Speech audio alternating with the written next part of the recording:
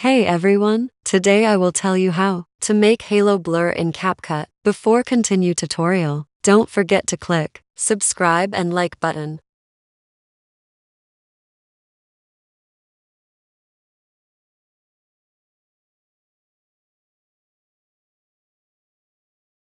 Click animation, add out, then choose fade out. The duration depends on you. Go to effects and choose video effects.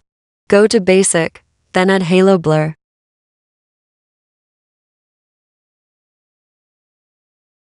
Adjust the speed 100 and the intensity 85. Then copy and paste it on the clips. Click overlay and add a plain white picture.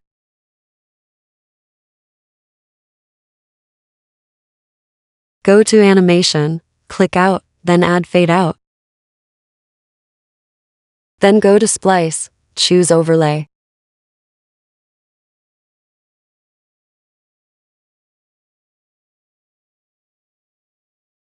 Then copy and paste it on the clips.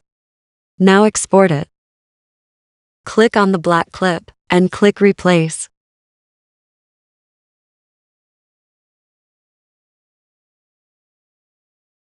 Click reverse. Go to effects, choose video effects, add retro and choose old TV 2.